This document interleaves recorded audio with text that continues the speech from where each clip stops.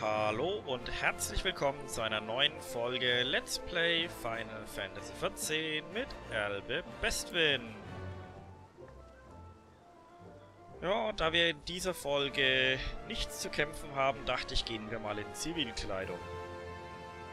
Und ja, wir sind ja in der letzten Folge Hildebrand Manderville, dem äh, berühmten Kriminologen, begegnet. Und der wollte in Ulda ja nach einem Kriminologenfall suchen und ja, befragen wir doch mal Leute in Ulda, was es so gibt und wofür man einen Kriminologen so brauchen könnte.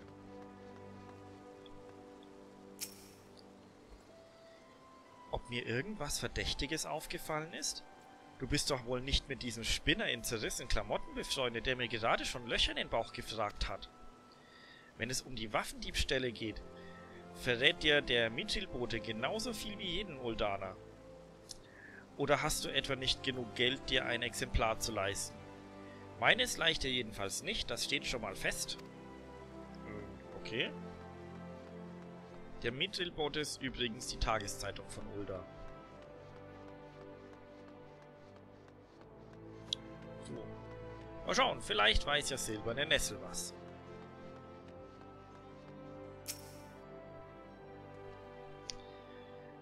Ob Ulde in letzter Zeit von Verbrechen heimgesucht wird, fragst du? Ha, welcher von den Händlern hier ist schon kein Verbrecher? Aber mal Spaß beiseite. Die Händler und Kunden auf dem Markt in der Perlengasse schwatzen dieser Tage tatsächlich viel über einen ominösen Waffenräuber. Man hat sogar schon Schilder aufgestellt. Vorsicht vor dem Waffendienst steht, steht da drauf. Na, der soll sich hier rückblicken lassen. Dann zeige ich ihm, dass Silberne Nessel auch was von brennenden Nesseln versteht. Okay. Und da hinten gibt es noch jemanden, den wir befragen können.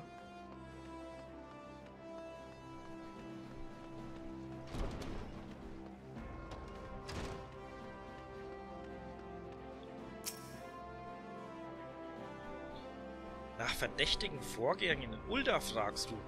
Falls du den Waffendieb meinst, da kann dir Weimann, der Informationshändler, sicherlich mehr zu erzählen. In Ulda werden täglich mehr Gerüchte gestreut, als die Wüste Sandkörner hat. Da wendest du dich lieber an jemanden, der den ganzen Unfug schon rausgesiebt hat. Okay, dann mal ab zu Wymond. Der hat uns ja die ganze Sache erstmal eingebrockt, indem er uns auf Hillibrands Pferde ge äh, geschickt hat. Der steht dort hinten irgendwo.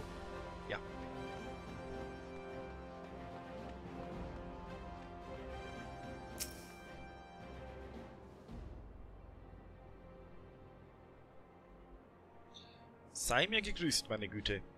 Hab schon gehört, dass du den Zombies ihre Tanzflausen ausgetrieben hast. Ausgezeichnete Arbeit.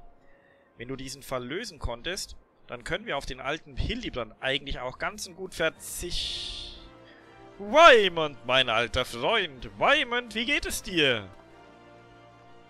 H Hildebrand? Hat mir die heiße Wüstensonne den Verstand gebraten. Du lebst? Aber wie ist das möglich? Und lebst du überhaupt wirklich? Hahaha, der gute Wymond. Deine Sorge rührt mich. Wie du siehst, geht es mir blendend. Und mir auch, hihi. Ähm, ja, in der Tat. Scheint alles beim Alten zu sein. Vielleicht hat absolute Selbstüberschätzung ja doch ihr Gutes, wenn so, sie sogar zum Tode trotzen... Nee, wenn sie sogar dem Tode trotzen kann. Mein geschätzter Wymond, was soll das bedeuten? Du redest mal wieder hochtrabendes Zeug, das selbst den messerstarfen Geist eines genialen Kriminologen, wie ich es bin, benebelt. Sprechen wir lieber von den dringenderen Dringlichkeiten. Ist es wahr, dass in Ulda seit kurzem ein Waffendieb sein Unwesen treibt? Ein Waffendieb? Ja, derartige Gerüchte sind mir tatsächlich zu Ohren gekommen, wenn die Berichte auch sehr vage sind. Ach, Wyman, du kannst doch einen gestandenen Schnüffler wie mich nicht verschaukeln. Willst sicher wieder den Preis in die Höhe schrauben, was? Nun rück schon damit raus. Wo ist die heiße Spur, die, dem, die zu dem Tu nicht gut führt? Ob's eine heiße Spur ist, kann ich dir nicht versprechen, aber es gibt in Ulda ein Mädchen, dem neulich seine Waffe gestohlen... Halt ein, Weimend! Ein Mädchen, dem seine Waffe gestohlen wurde. Waffe. Gestohlen. Hm? Ich hab's! Bei diesem bemitleidenswerten Kind muss es sich um ein Opfer des Waffendiebs handeln. Schließlich wurde ihm eine Waffe gestohlen, nicht wahr? Ha! Da wärst du nie drauf gekommen, mein Freund. Wohlan, Naschu! Eilen wir zu der Ärmsten, zu Hil Naschu? Die Abenteurerin aus der Wüste? Seit wann stehst du denn hier? Bist du ebenfalls auf der Suche nach dem Waffendieb? Oder einfach nur neugierig, wie ich den Fall löse? Ja? Letzteres muss es sein. Ich erkenne das Funkeln der Bewunderung in deinen Augen, und es sei dir verziehen. Denn niemand kann sich der Faszination des größten Kriminologen seit Entstehung des Universums entziehen. Mein siebter Sinn sagt mir, und er hat sich noch nie geirrt, dass sich unsere Wege schon bald wieder kreuzen werden. Nun denn, gehabt dich wohl, auf mich wartet ein Verbrechen.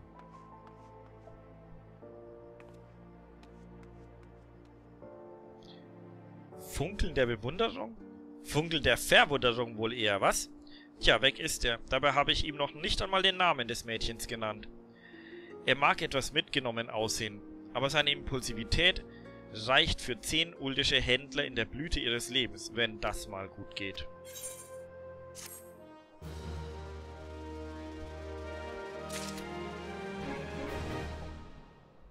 Also gut.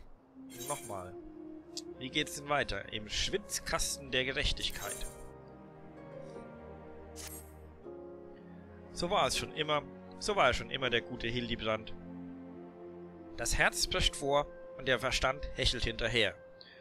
Und zwar mit einem einigen Mal mit Abstand. Ah. Tja, dass du noch hier bist, lässt mich offen, lässt mich hoffen, dass zumindest eine Kriminologin in dieser Stadt aufgeklärt genug für die Aufklärung dieses Falles ist. Also, das bestohlene Mädchen, wie meine Quellen verlauten lassen, handelt es sich dabei um die Rögerdin Gelber Mond, eine Stammkundin der Webergilde. Greif unserem selbsternannten Meisterschnüffler lieber unter die Arme. Wer weiß, was er sonst noch wieder alles anstellt. Okay, dann gehen wir mal zu Gelber Mond.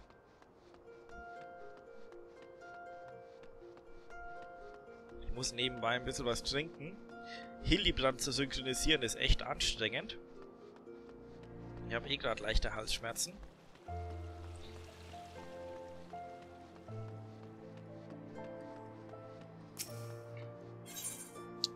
So, zur Webergilde wollen wir.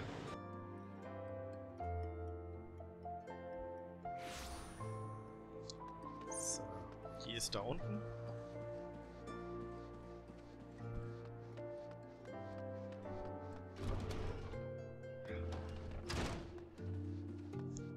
Hallo Gelber Mond. Gelber Mond kennen wir noch nicht, aber wenn wir in Ulda gestartet wären, die hatte eine äh, Low-Level-Quest, die war auch ganz witzig, weil Gelber Mond hat einen Freund, der ist ein etwas dicker Rögerdin, der wollte für sie abnehmen und du solltest ihm dabei helfen. Das Dumme ist, Gelber Mond mag ihren äh, Möppelchen wie er ist und will überhaupt nicht, dass er über abnimmt. Und dieses Missverständnis musste man damals aufklären in dieser Quest. War eigentlich eine ganz witzige Quest.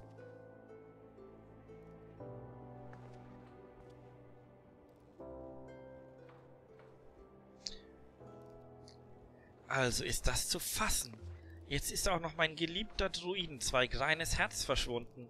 Haltet den Dieb! Was für eine bosenlose Unverschämtheit! Ah, dieser Klang.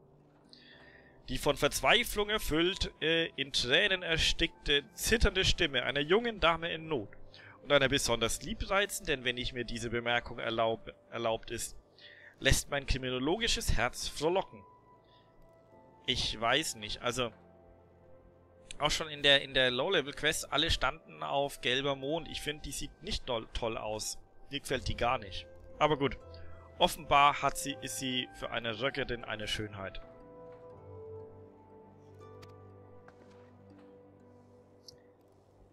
Was bist du denn für eine Ulknudel?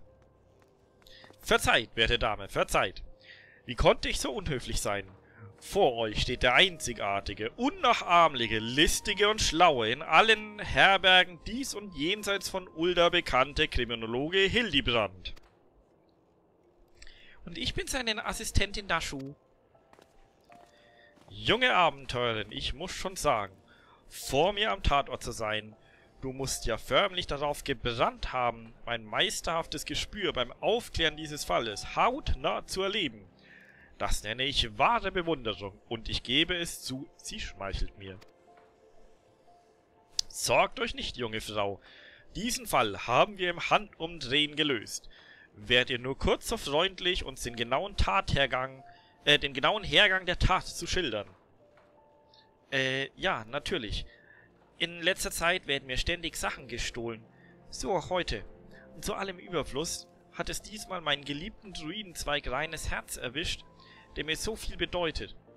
Er war nämlich ein Geste Geschenk meines Speckelchens zu unserem dritten Jubiläum. Es besteht kein Zweifel daran, dass er noch in meinen Gürtel steckte, als ich das Haus verließ. Ich ging dann zur Haute Couture Sonnenseide und zum Kolosseum, um dort einige Erledigungen zu machen. Als ich hier in der Gilde ankam, war der Stab auf einmal weg.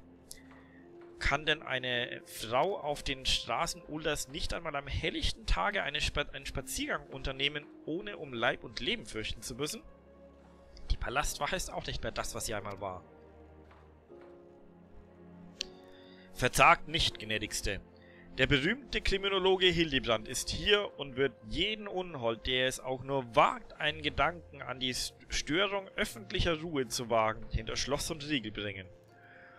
Eurer Schilderung mangelt es zwar an für meine kriminologische Arbeit essentiellen Details, doch meinem messerscharfen Verstand ist, ist längst klar, dass der Ort des Verbrechens in diesem Fall unklar ist. Wir müssen daher alle in Betracht kommenden Tatorte genauestens unter die Lupe nehmen. Wohl an, Naschu. Als erstes wollen wir sehen, welche Geheimnisse äh, sich hinter den Tüchern und Schleiern von Haute Couture Sonnenseide verbergen. Mir nach!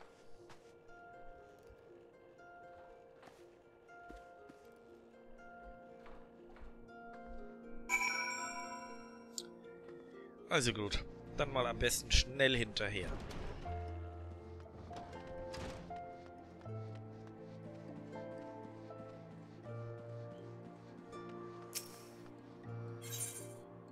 So, das ist, ich glaube, da in der Nähe vom Meteoritenplatz gewesen.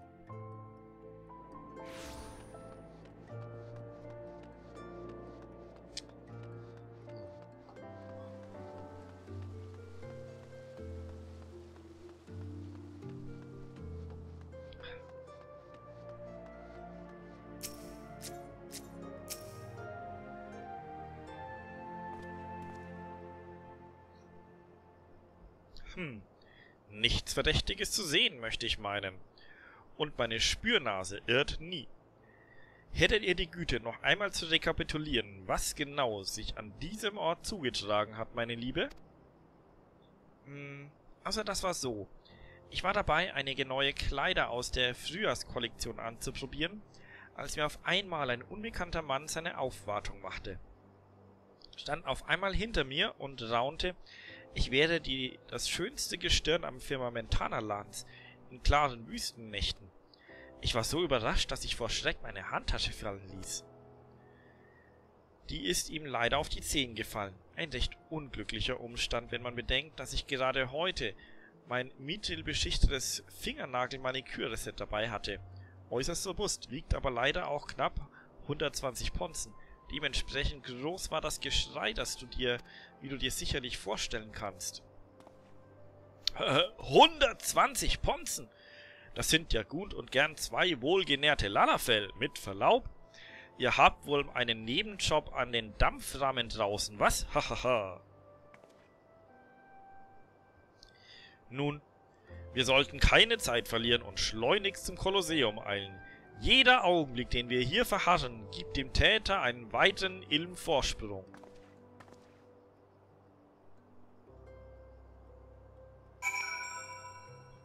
Nur mal schnell zum Kolosseum. Das ist dann gleich da vorne, müssen wir dann mal die Zone wechseln.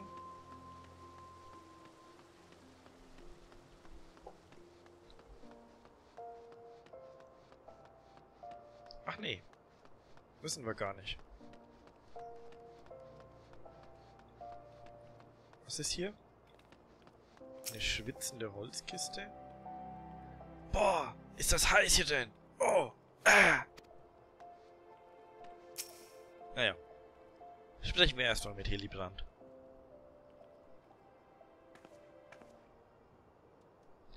Hm, auch hier wollen meine kriminologischen Alarmglocken nicht läuten. Denkt nach, gnädigste Frau. Könnt ihr uns vielleicht einen Anhaltspunkt liefern? Was trug sich an diesem unscheinbaren Ort, an dem doch in jeder Fuge und Ritze das Böse und Unberechenbare lauern könnte? Ähm, also das war so. Ich war gerade in das Programm für die neuen Wettkämpfe vertieft, als mich ein adretter Gladiator von der Seite ansprach. Mit den Dämonen der sieben Höllen würde ich es aufnehmen, wenn ihr als Preis für meinen Sieg winktet, holde Frau, hat er gesagt. Weil ich sehen wollte, wer solch ein schwülstiges Zeug von sich gibt, habe ich mich impulsiv umgedreht und dabei meine Handtasche in großem Bogen geschwungen. Konnte ich wissen, dass sich sein mit spitzem Kussmund vorgestreckter Kiefer genau in der Flugbahn befindet? Das Maniküre sind. Oh, Backe! Äh, doch, ich glaube, nein. Ich bin mir felsenfest sicher, nun das Motiv des Täters zu kennen. Bei allem Respekt, gnädigste, aber ihr habt euch ein, heute ein paar Feinde gemacht, willentlich oder nicht. Sagt mal, waren diese Kisten eigentlich auch schon hier, als wir angekommen sind?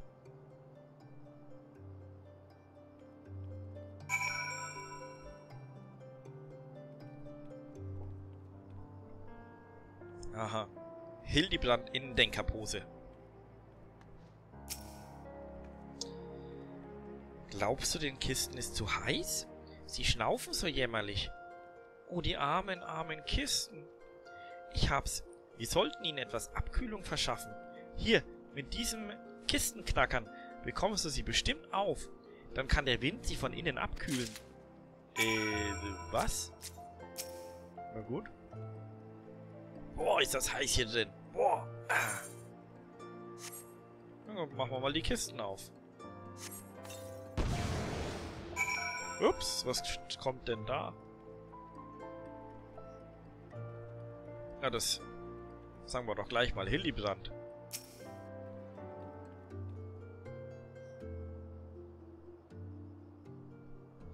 Die Wahrheit, versteckt hinter einem gedichten Geflecht aus Ränken und Täuschungen, Wer sie finden will, muss sich wie ein junger, unbedarfter Schnappspitzmull auf der Suche nach einem Stück Käse in ein Spiegellabyrinth der Gannerei begeben. Doch ich, Hildebrand, weltbester Kriminologe und Entwirrer der vertracktesten Verwirrungen, drang zur Wahrheit vor, packte sie am Schlawittchen und zerrte sie ans Tageslicht. Bei dem Waffendieb kann es sich nur um den Gladiator halten, handeln, der am Kolosseum Bekanntschaft mit eurer Handtasche machte, meine teuerste.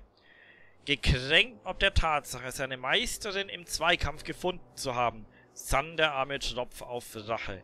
Also stellt er euch nach, wartete auf den geeigneten Augenblick und ergriff dann Herr Hildebrand, Herr Hildebrand, ich hab das Stöckchen gefunden.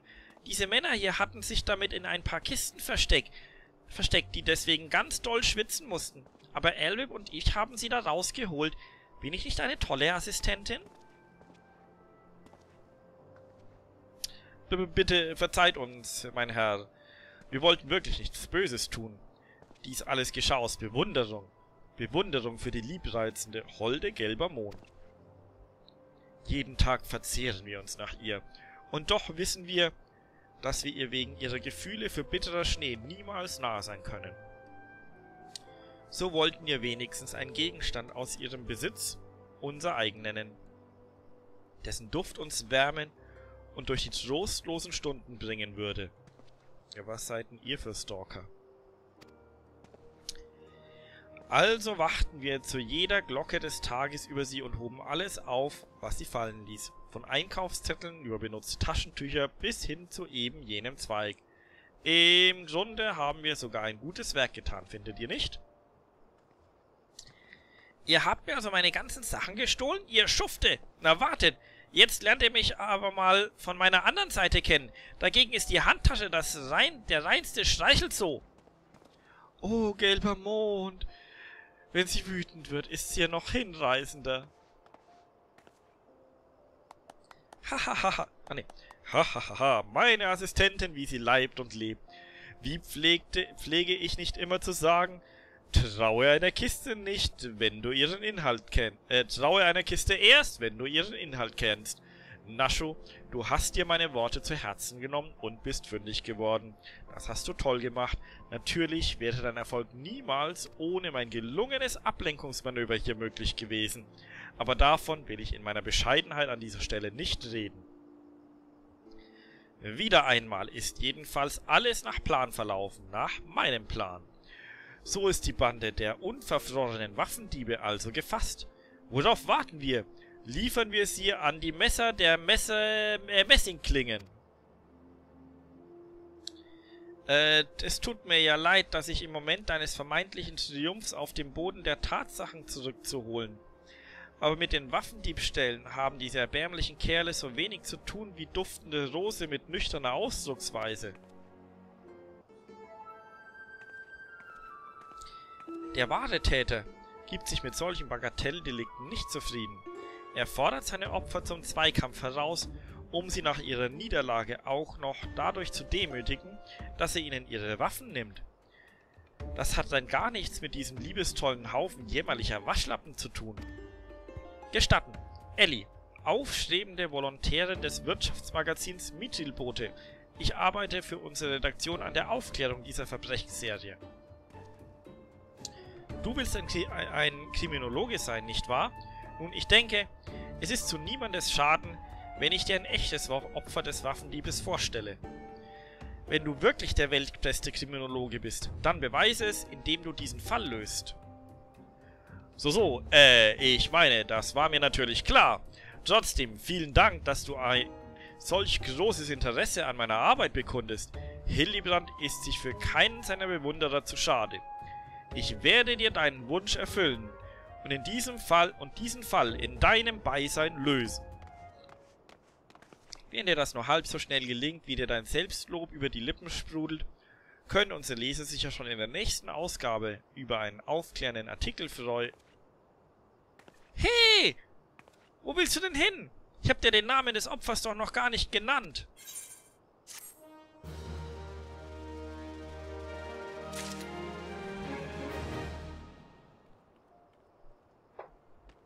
Na gut.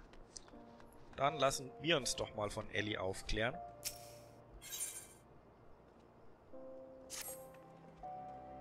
Ähm, du bist eine Freundin dieses Kriminologen, nicht wahr? Untersuchst du den Fall zusammen mit ihm und seiner Assistentin? Dann dürfte dich interessieren, dass sich eines der Opfer des Waffendiebes am Goldbazar aufhält. Es handelt sich um einen Abenteurer namens Humphrey. aber Vorsicht, der Junge hat selbst Dreck am Stecken, wenn meine Quellen richtig liegen. Ich frage mich, wie unser rechtschaffener Herr Freund Hildebrand in so einem Fall wohl reagiert. Hoffentlich serviert er den miesen Kerl ordentlich ab, das hätte er verdient. Ja, aber ich würde sagen, zum Goldbazar gehen wir in der nächsten Folge. Bis dahin, macht's gut.